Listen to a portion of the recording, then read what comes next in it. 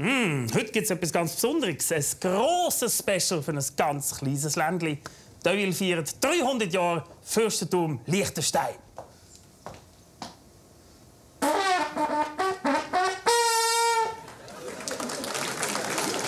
Ist das jetzt die berühmte Liechtensteinerische Fanfare? Nein, das ist eine liechtensteinerische Fanfare. Ah.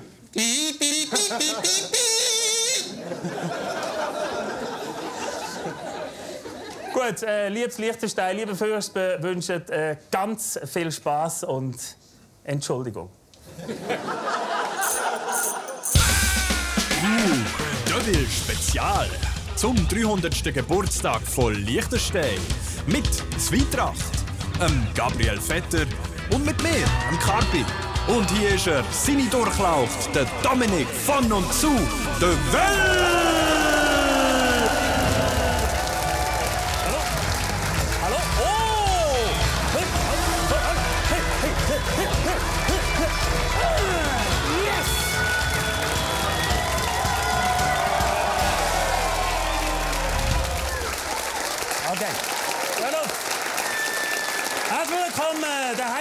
Fernsehsessel und im Maskott zu Deville. Heute ist ein guter Tag für Schweizer Fernsehen, aber nicht nur für Schweizer Fernsehen, auch für das Fürstentum Liechtenstein.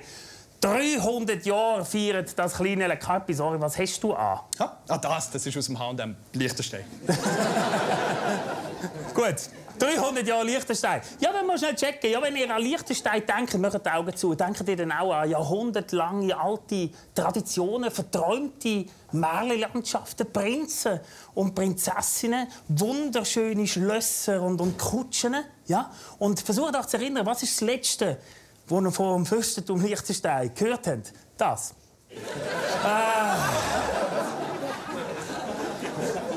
Genau, auch florierender Sextourismus im Fürstentum Liechtenstein. Also Schweizer Sicht. Ist natürlich macht man eigentlich keinen Witz darüber, müssen wir ganz ehrlich sein, weil es ist immerhin Tierquälerei. Und man kann aber auch sagen, Einfach zum Verständnis für den Anklagten hat vor Gericht gesagt, also er hat wirklich den Esel gefragt vorher. Und äh, er hat sein Verständnis gegeben. Er hat wirklich gesagt, ja, ja, zweimal habe ich gefragt. Übrigens, wenn ihr fragt, wie es dem Esel geht, dem geht es auch wunderbar. Er ist zum Albunen verarbeitet worden, also ist an einem besseren Ort. Aber nochmal jetzt zum ähm, traditionsreichen, zu dem wunderschönen Ländli. Wir haben das ein bisschen, ja, über Liechtenstein recherchiert, haben ein bisschen herausfinden, was es da so zu sehen gibt, was man da so machen kann. Und da ist unser Überblick von Liechtenstein.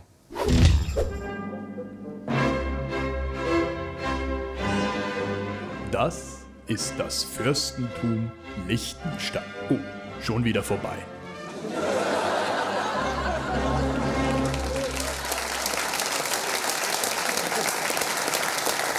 Und das ist auch schon gesehen mit Deville zum Thema Liechtenstein. Jetzt, wenn wir dabei sind, nächste Woche Spezialsendung zum Vatikan. Macht's gut.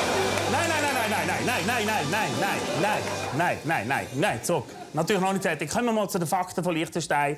Es gibt viele Sachen, die vielleicht äh, unsere Zuschauer und Zuschauer interessiert. Mal Fakt Nummer eins: Liechtenstein ist das viertkleinste Land Europas, gerade nach San Marino, Monaco und Schlumpfhausen. Hm? ähm, wer, Fürstentum, wer das Fürstentum regiert, das ist auch noch wichtig. Karpi ist das wirklich, bin ich richtig orientiert, ein Fürst tut Ja, das regieren. das hier ist der Hans Adam II.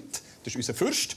Er ist Staatsoberhaupt von Liechtenstein. Hm, also das Oberhaupt von der Hans Adams Family, wie man ihn auch nennt, äh, freundschaftlich. Gibt es da noch mehr dazu? Gibt es noch jemanden, wo Genau, wirklich am Drücker im Moment ist der Erbprinz, der Alois. Da haben wir ihn. Man nennt ihn noch seine Durchlaucht. Ah ja. Dann nennt man seine doch auch schon von, klein, von Baby auf. Von, von Anfang an. Also wenn äh, der Fürst ist der Erbprinz abholen bei der Krippe und dann hat es so einen Rapport gegeben von der Krippenleitung. Also eure Durchlaucht hat ein Mittagsschläfchen gemacht. und jetzt Hose voll, aber immer schön Bohnenbrei gegessen, finde ich schön. Also eure Durchlaucht, das gefällt mir. Gibt es noch mehr so Titel? Es noch einen Dame? Genau, die Erbprinzessin Sophie. Sie ist äh, eines der letzten Mitglieder, von der verbleibenden Mitglieder vom europäischen Hochadel. Hullala, vom Hochadel. Ist das eine Abstufung? Hochadel, Mitteledel, Niedergart und durchgelaucht vielleicht? Und dann sonst Zervela-Promi. Ist das so das Volk, würde ich sagen? Habe ich richtig verstanden? Ihre königliche Hoheit? Ja, ja. Sie ist faktisch über dem Rest der Familie. Also noch höher als der Fürst, wirklich? Sogar. Vom Titel, ja. Also wenn ihr irgendwie mal Streit habt, irgendwie kann sie sagen, hey, wer ist der Hochadel? Ja. wer ist nur durchgelaucht? Also, schön. Kapi, apropos Durchlauch, gibt es auch noch junges Gemüse? Ja, der Sohn vom Erbprinz, der Prinz Josef Wenzel, er ist 23 und ist der offizielle Thronerb vom Fürstentum. Oho, ich sehe gierige Blick beim äh, weiblichen Publikum. Ist ja noch zu haben. Oh ja. Also paarungswillige Frauen können mit Lass und Lippenstift bewaffnet gerne hier auf das Schloss aufbrechen. Apropos Schloss, haben wir das Bild vom Schloss? Ah, herrlich, in Vaduz. Dann haben wir noch ein Schloss, äh, ein zweites Schloss noch, oder? Ah, sorry, das ist mein persönlicher Gästebad. Nein, das ist nicht. Ähm, haben wir noch? Es gibt auch noch ein zweites Schloss, zeig mal. Ah, prachtvoll. Dann die Bank vom Fürst gibt es natürlich auch noch. Die Kutsche vom Fürst gibt es auch noch. Und dann um Fürst sein liebste Möbel, weil er hat ja wirklich eine riesengroße, teure Kunstsammlung. Und das, das ist spannend, ist das teuerste Möbel auf der Welt. Ja? Läppische 27 Millionen Franken kostet das Ding. Ist nicht schlecht für ein Nachttischli. Wirklich nicht. Und schau, wie er glücklich schaut, der Fürst. Ja? Äh, weil er eigentlich mega sauer weil der Aufbau ist so streng war. Ich meine, ich kann es verstehen. Weißt du, 27 Millionen kostet und dann hat Ikea die dummen Schlüssel vergessen beizulegen. Jetzt noch weiter, es geht noch weiter. Gehen wir mit dem Witz noch ein bisschen flacher. Briefmarke ist ein riesen Ding im Liechtensteinischen. Äh, schau mal. Das ist die Briefmarke zum 300. Geburtstag. Das ist die Jubiläumsmarke, limitierte Sonderedition. Sie ist nicht etwa bedruckt. Nein, komm, das ist Liechtenstein. Hä? Die ist wirklich gestickt mit einem 24 Karat Echtgoldfaden und mit acht originalen Swarovski-Kristall versehen. Hä? Das ist es. Die Briefmarke hat 6 Franken 30 Wert, kostet aber 998 Franken. Und das ist nur die B-Post-Briefmarke. Ja? Also die A-Post-Briefmarke ist aus Blattgold gestanzt, mit Brillanten verziert und von blaublütigen Ministranten schon vorgeschleckt worden. Das ist wirklich schön. Ja, das ist schön. Na, die reichste Adelsfamilie von Europa. Sowieso, ich glaube, das höchste Pro-Kopf-Einkommen haben wir ja. in der ganzen Welt. Warum sind sie so reich? Das bleibt ihr Geheimnis. Oder wie sie so sagen, what happens in Vaduz stays steuerfrei. Hm? Und obwohl, das ist interessant, obwohl die Leute vom Reichtum plagt sind, sind es doch ganz fröhliche Menschen. Ja? Schaut, da sitzen unsere Liechtensteiner Gäste. Natürlich in der ersten teuren Reihe. Meine Damen und Herren, Applaus für die Liechtensteiner Gäste. Schön sind wir da. Und liebe Zuschauer, äh, wenn ihr denkt, was ticket da so laut im Mikrofon vom Devil, das sind die Rolex der ersten Reihe. Liechtenstein hat auch eine der niedrigsten Kriminalitätsraten der Welt. Mhm. Klar, weil einfach niemand merkt, wenn ihm etwas geklaut wird. Was Liechtenstein nicht hat, ist eine Autobahn. Da benutzen sie einfach die Schweizer Autobahn, um ein bisschen rumzufahren. Es macht auch keinen Sinn in Liechtenstein, sobald du auf 100 Stundenkilometer bist, bist du schon in Österreich. Oder? Das bringt es einfach nicht. Können die die 100 Sportler von Liechtenstein? Hä? Nein? Du kannst nicht? Büchse. Nein, ist nicht der Büchse. Nein, schau mal, ich meine, wer auch immer der Büchse ist. Nein, der Büchse ist es nicht, hat ich auch gedacht. Nein, ähm, es ist, äh, komm, ich meine, was ist der Federer, was ist der Pele, hä? was ist der Schuhmacher? Liechtenstein hat den Wolfgang Matt und der Wolfgang Matt ist Flugzeugpilot. Modellflugzeugpilot. Ja, Modellflugzeug, ja, Pilot. Aber das ist äh, nicht sein Sportgerät, sondern das ist die Liechtensteiner Airline, die er vorher da... Äh, nicht. Spannend ist auch, finde ich jetzt persönlich, dass Liechtenstein hat keine Geburtenabteilung im Spital, haben sie 2014 anscheinend nicht mehr. Das heisst, Menschen werden wirklich im Liechtensteinerischen nicht mehr geboren. Äh, was aber dort geboren wird, sind Firmen. Firmen, ja, die sprießen wie Pilze aus dem Boden. Es ist ja so, wenn man nachgerechnet, auf jeden sechsten Liechtensteiner kommt eine Firma. Jeder 40. Liechtensteiner ist adlig und bald kommt auf jeden 5000. Liechtensteiner ein Casino. Hm? Das ist ein kleiner Insider, ich habe gemerkt, dass nicht alle Casino ist der neue Shit in Liechtenstein, seit das mit dem Schwarzgeld nicht mehr so richtig läuft. Das jetzt mit Spielgeld. Und ja, Geschäft, das können sie. Geschäft machen, das können sie. Auch ihre Landesgründung ist ja eigentlich schon... Ja äh, äh, eine geschäftliche Idee. Gewesen. Ja? spannend. Wie ist das passiert? Das war mal ein Stückchen Land. Gewesen. Ja? Zwei Grafen sind da drauf, gewesen, sind völlig verschuldet. Gewesen. Nein, die haben nichts mehr gehabt, ganz armes äh, Ländli. Dann hat der Kaiser gesagt, das müssen wir verkaufen. Und dann ist der Fürst gekommen, hat es gekauft, hat ein Häkchen rundherum gemacht und hat gesagt, so, habe ich gekauft, das ist jetzt mein Land. Mache eigene Pass, zahle keine Steuern und wer zu mir kommt, kann profitieren. Sehr gutes Geschäftsmodell. Könnten wir auch in der Schweiz eigentlich umsetzen. Mega einfach, oder? Welcher Kanton hat sehr wenig Geld zurzeit, Kapi? Jura. Jura, okay. Jura, äh, man könnte der Bundesrat könnte sagen, hey, Kanton Jura läuft nicht mehr so gut. verkaufen wir jetzt. He? Wer kommt in Frage? Ja, wer kommt in Frage? Wer will ein Unternehmen, am besten einen Familienbetrieb? Äh, Blochers. Blochers könnte das kaufen.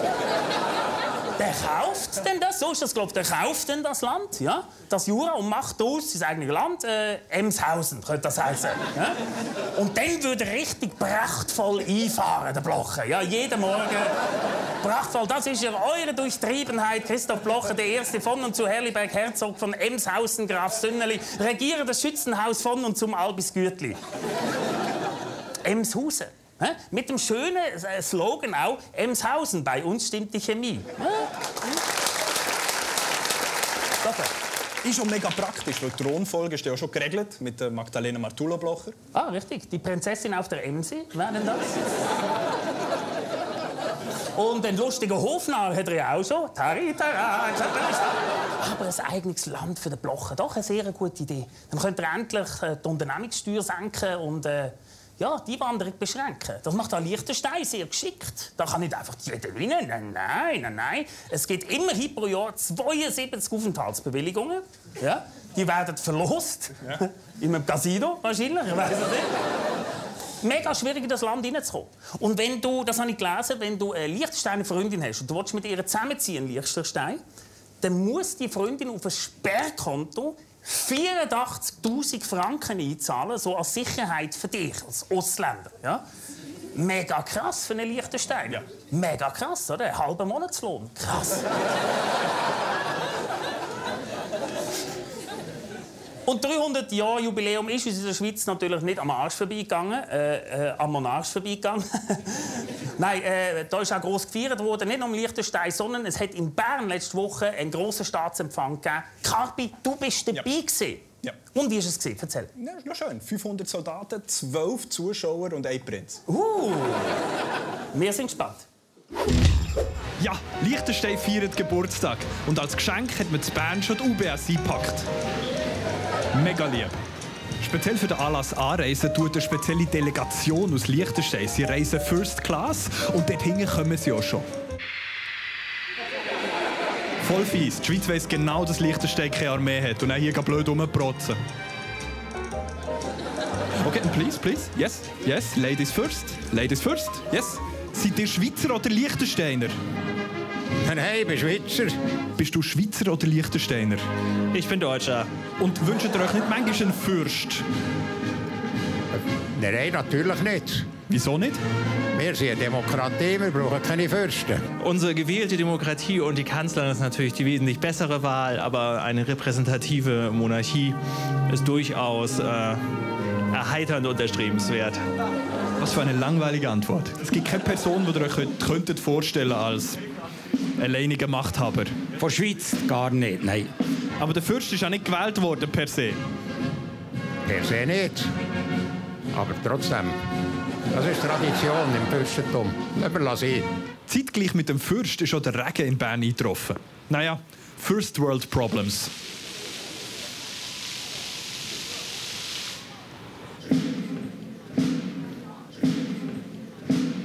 Schweiz lässt sich nicht lumpen. Zum vier vom Tag haben sie sogar die motivierteste Guckenmusik vom Land aufgeboten.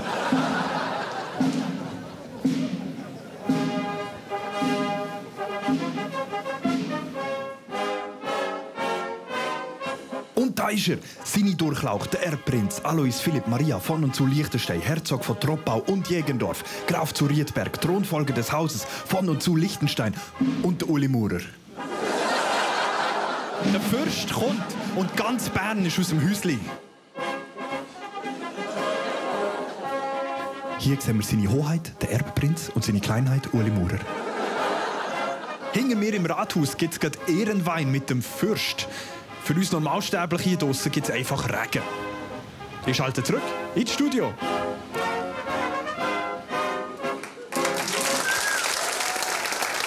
Jetzt aber Zeit, dass wir hier jemanden einladen, wirklich aus einem kleinen Ländchen. Ähm, leider haben wir den bekanntesten und erfolgreichsten Comedian von Liechtenstein nicht können einladen Das wäre Adalbert der Lustige. Er ist schon 200 Jahre tot. Ähm, er geht aus der Pitch Weber von der späten Renaissance, kann man so sagen. Nicht etwas viel Besseres. Ausschauen, meine Damen und Herren, Gabriel Zwietracht!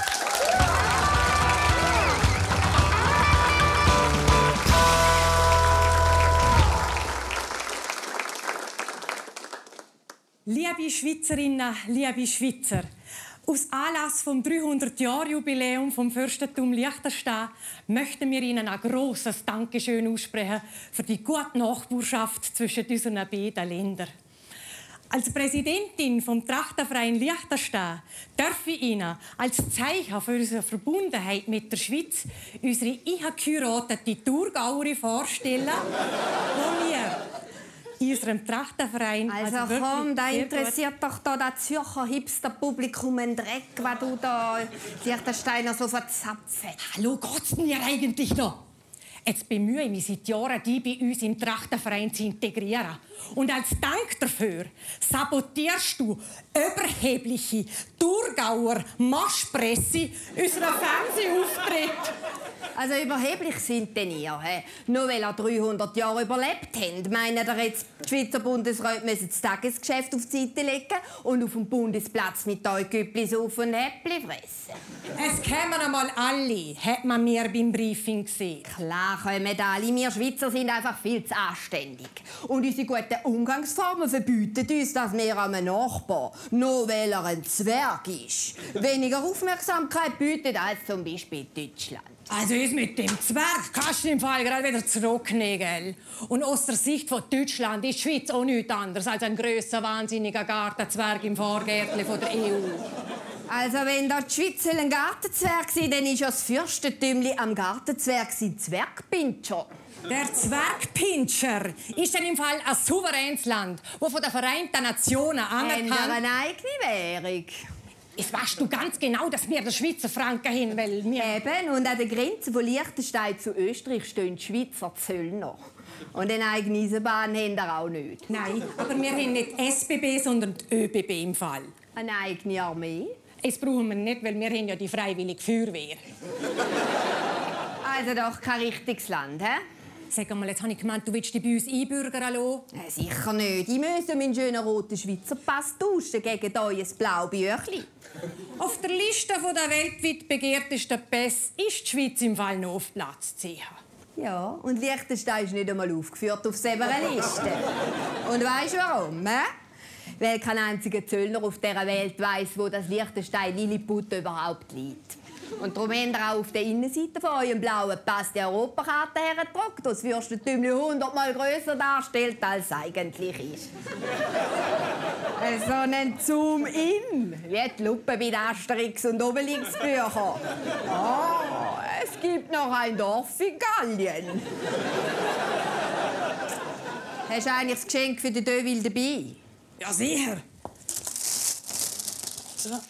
Nein, das Fressblättchen ist eines der offiziellen Geschenke für die Bundesräte. Schon? Pur Anna steht da. Eben für den Bundesrat per se. Ist der pur? Komm, wir müssen vorwärts machen.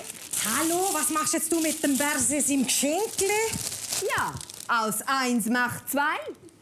Schau, Deville, das ist dein Geschenk. Das Blättchen hat die Umriss von Liechtenstein. Im Verhältnis 1 zu 10. Ein ganzes Land als Geschenk. Danke.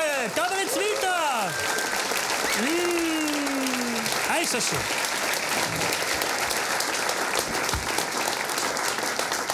So, Zwietracht. Das ist jetzt also wirklich die traditionelle Tracht von Liechtenstein. Ich habe immer gemeint, die traditionelle Tracht sei ein Anzug, Krawatte und ein Aktenköfferli von Liechtenstein. Aber ja gut, kommen wir zu einem weiteren interessanten Gast, auch aus Liechtenstein. Es ist äh, der Maximilian Cornelius Maria Frick. Herzlich willkommen. Herr Frick, Sie sind Chief Executive Scout von der Pfadi Liechtenstein. Ja? Und was interessant ist, Sie heißen äh, gar nicht äh, Maximilian Frick, sondern Ihr Pfadiname ist Eidgenosse. Wie kommt es dazu? Ja, dass sie, wenn meine Familie damals mal für Liechtensteiner Verhältnis relativ arm war. Also ich hatte zum Beispiel auch keine Markenkrawatte von der Pfadi.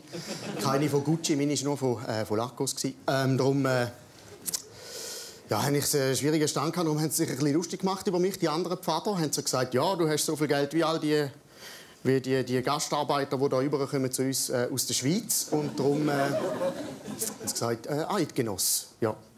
Ist das wirklich so? Hat es äh, in Liechtenstein wirklich äh, so viele Grenzgänger aus der Schweiz? Ja, furchtbar viel. Furchtbar viel äh, Billiglohnkräfte. Also, die Schweizer sind, äh, die Schweizer sind quasi unsere Mexikaner. Ja? Also, Eidgenoss, darf Eidgenoss sagen, ich sehe, äh, äh, du hast da mega viele Abzeichen. Für Richtig. was stehen die? Äh, richtig, also zum Beispiel die drei Sternchen sind, da habe ich dreimal hintereinander die liechtensteinische Ländle-Meisterschaften gewonnen im äh, Schnellbinden von der Krawatte.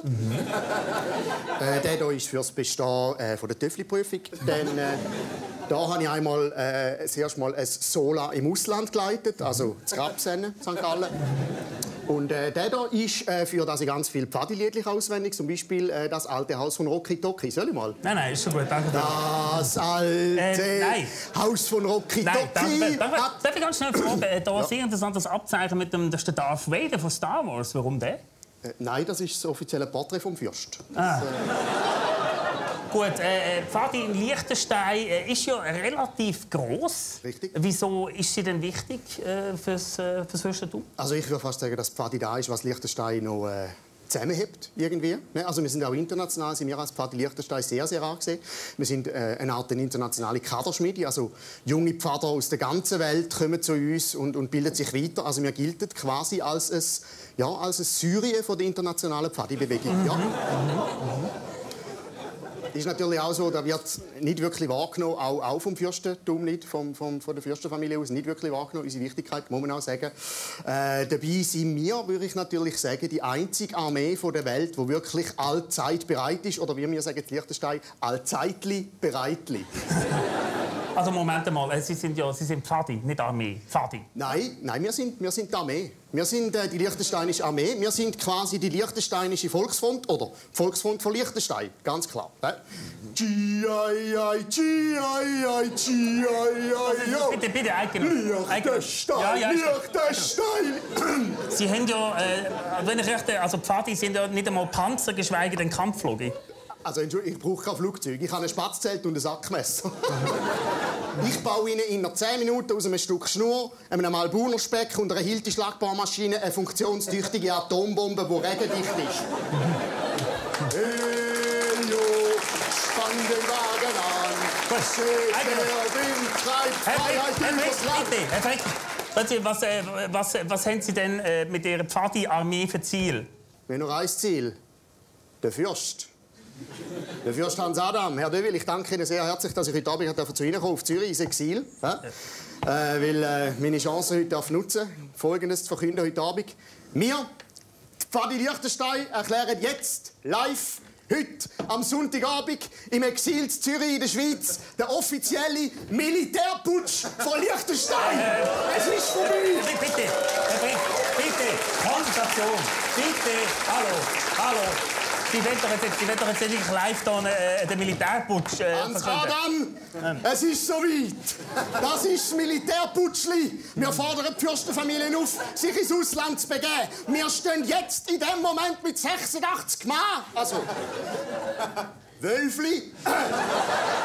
86 Wölfli, 5 Zelt, 3 Lagerfeuer, 18 Kilo Schlangenbrot, 9 Gitarren und eine alte Ausgabe vom Rondo Pfadli Liederbuch vor dem fürstlichen Schlössli und fordern die unterdrückerischen Kräfte auf, unser Ländli zu verlassen. Wir sind nicht allein. Eine Koalition von Jungschar, Zefi Blauring und Jungwacht hat sich der neuen unabhängigen Republik Liechtenstein bereits angeschlossen.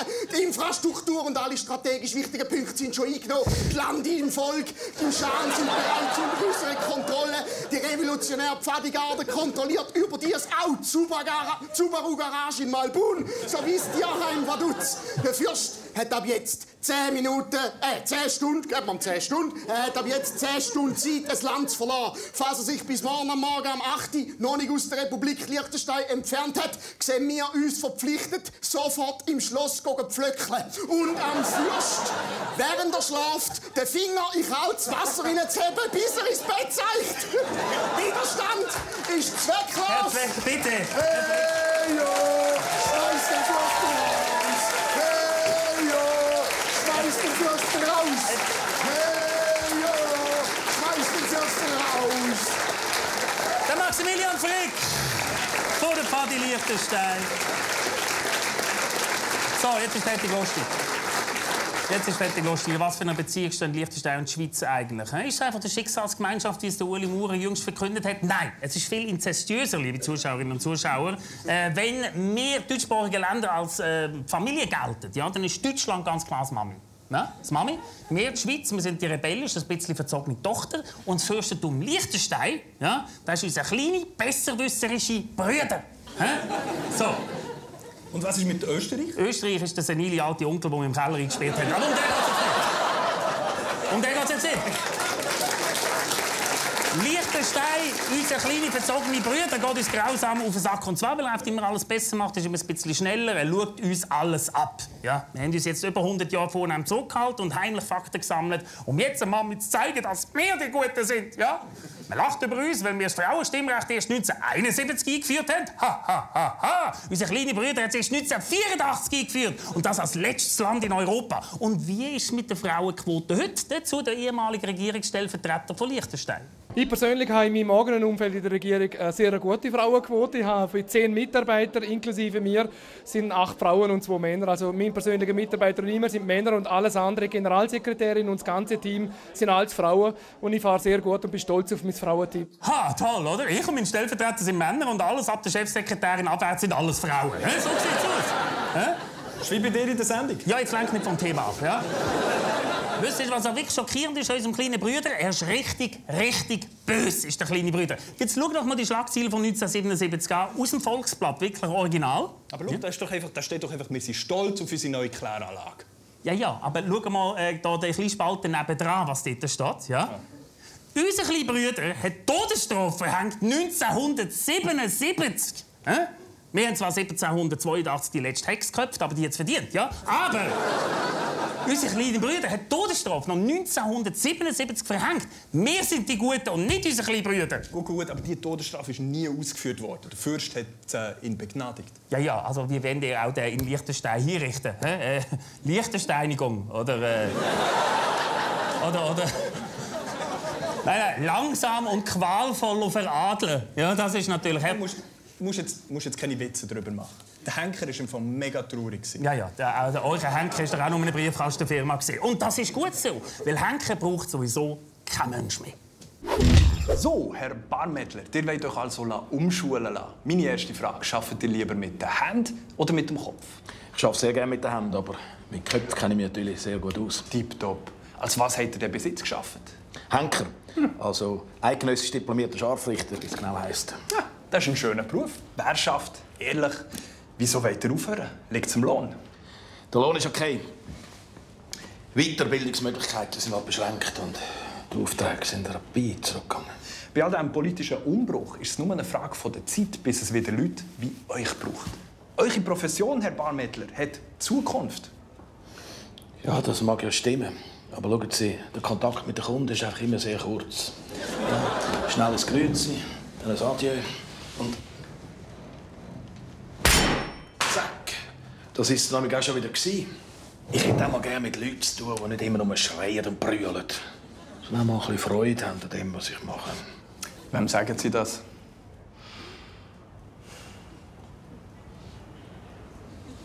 Aber schauen wir vorwärts. Für Männer von eurem Format wird es immer Arbeit geben. Zum Beispiel hier, äh, wie wäre es als Headhunter für einen grossen Chemiekonzern? Das wird mein soziales Gewissen nie zulassen.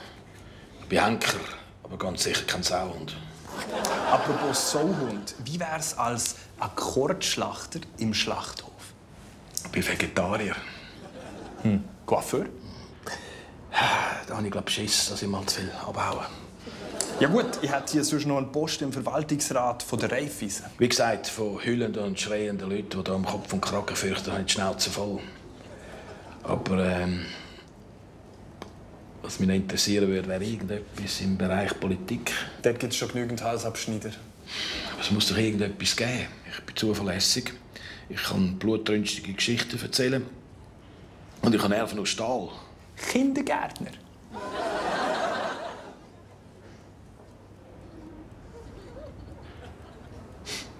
Gute Idee. Das hätte ich auch selber kommen Danke vielmals. Sehr gerne. Dann gehe ich mich bewerben. Für Glück. Oh, Herr Barmettler, euer Arbeitsgerät. Könnt ihr behalten. Als Kindergärtner brauche ich doch das nicht mehr. Ja, äh, und zum Basteln mit den Kindern. Oder fürs Elterngespräch. Schaut nicht um, der Henker geht noch um. Schaut nicht zurück, sonst ist das Köpfchen fort.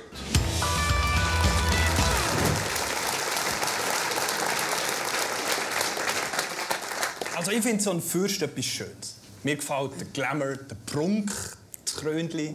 Ach komm, hör mal auf mit dem Fürst. He? Äh, da lästern wir über unsere direkte Demokratie in der Schweiz ab, wo anscheinend jeder Bauer zu irgendwelchen Themen kann mitbestimmen kann. Aber bei unserem kleinen Bruder ja, bestimmen nicht nur die Bauern mit, sondern was noch viel schlimmer ist, am Schluss der Fürst. He? Gut, der ist ja vor allem dekorativ. Nein, nein, nein, Liechtenstein hat ein ganz spezielles Regierungssystem ausgetüftelt. Die konstitutionelle Erbmonarchie auf demokratisch-parlamentarischer Grundlage. Eine First-Class-Demokratie. Ja, kann man auch so sagen.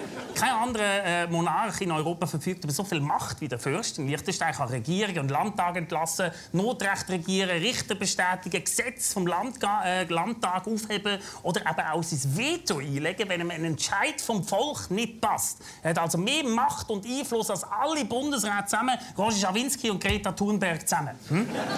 Also er kann einfach, wenn ein Volksentscheid nicht passt, kann er sein Veto einlegen? Ja, kann er machen. Hat er gerade letzte gemacht. Also 2012 hat es eine Volksabstimmung gegeben zur Liberalisierung von der äh, Abtreibung, weil äh, Liechtenstein eines der schärfsten Abtreibungsgesetze in Europa.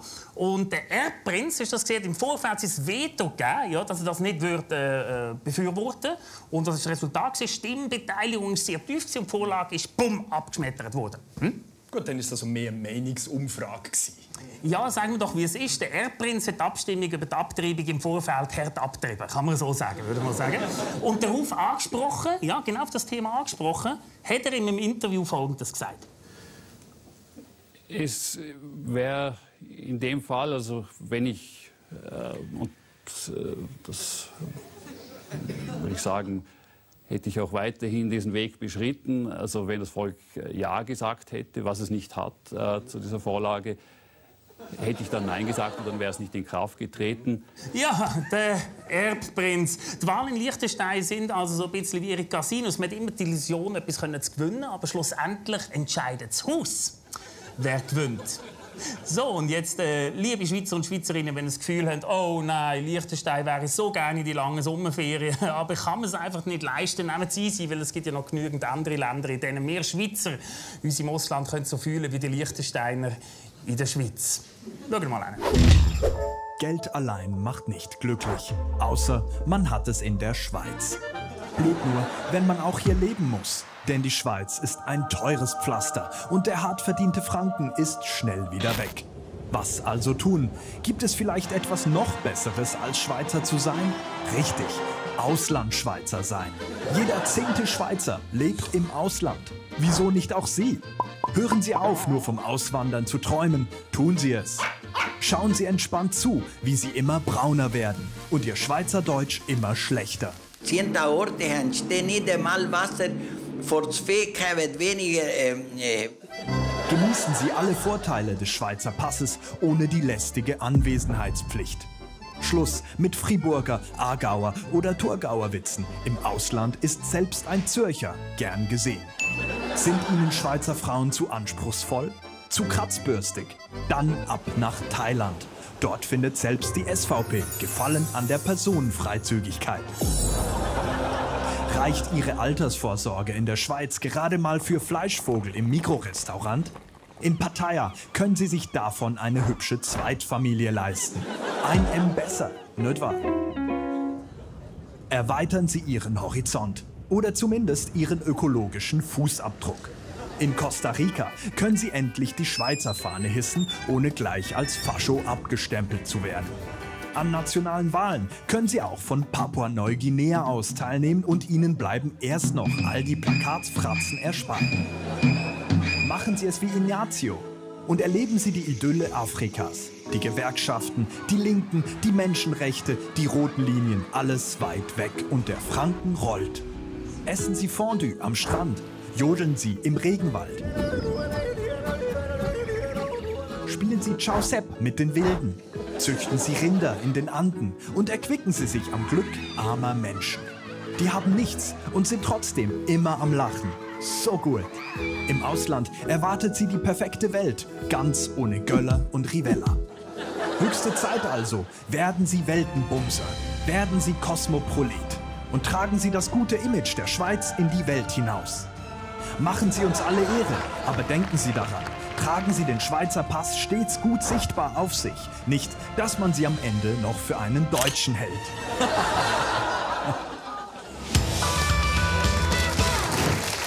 so, und das war's auch wieder. Danke für vielmals fürs Einschalten. An dieser Sendung beteiligt sind der Kampi!